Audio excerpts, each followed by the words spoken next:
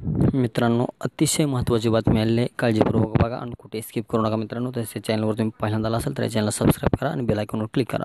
मित्रांनो बघा आपण बऱ्याच दिवसापासून बघत आहोत. जून महिना आला की शाळा सुरू होते. पण जून महिना आलेला आहे पंधरा तारीख झालेली आहे तरी शाळा सुरू झालेली नाही आहे नेमकी शाळा सुरू होणार कधी? सगळ्यांनाच माहीत आहे की शाळा लवकर सुरू होणार नाही पण नेमकी तरी किती दिवस लागतील शाळा सुरू व्हायला? तर बघूया आपण ही बातमी या बाबतीत तुम्हाला सगळं कळून जाईल. बघा या दिवशी शाळा सुरू होणार आहे असं असणार आहे शाळेचं वेळापत्रक.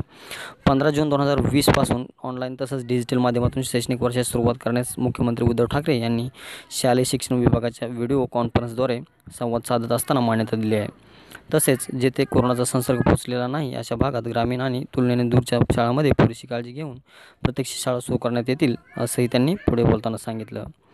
मुख्यमंत्री उद्धव ठाकरे म्हणाले की कोरोनामुळे शिक्षण थांबून विद्यार्थ्याचे नुकसान होऊ नुकसान होऊ नये मात्र विद्यार्थ्यांच्या आरोग्याशी आपण खेळू शकत नाही हे लक्षात घेऊन विषाणूचा प्रादुर्भाव नसलेल्या ग्रामीण तसेच शहरापासून दूर शाळा दूरवरील शाळा प्रत्यक्ष सुरू करण्यात याव्यात.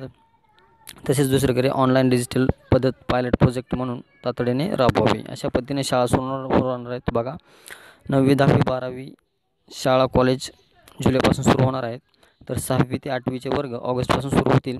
तसंच तिसरी ते पाचवीपर्यंतचे वर्ग सप्टेंबरपासून. तर पहिली ते दुसरीचे वर्ग व्यवस्थापन समितीच्या मान्यतेने सुरू होतील. पण या सुरू होणाऱ्यापैकी एकही शाळा रेड झोनमध्ये असायला नसायला पाहिजे. रेड झोनमध्ये शाळा सुरू करण्यास परवानगी नाही. याबाबत बोलताना शालेय शिक्षण मंत्री वर्षा गायकवाड म्हणाले की ऑनलाईन ऑनलाईनबाबत पालकांच्या मताचा विचार करण्यात आलेला आहे. पहिली व दुसरीची मुले मुले लहान असतात. त्यांच्यासाठी ऑनलाईन प्र पर्याय दिला जाणार नाही. तिसरी ते पाचवीच्या मुलांना दररोज एक तास व पुढील वर्गाच्या मुलांना दोन तासापर्यंत ऑनलाईन डिजिटल शिक्षणाचे नियोजन करण्यात आलेले आहे.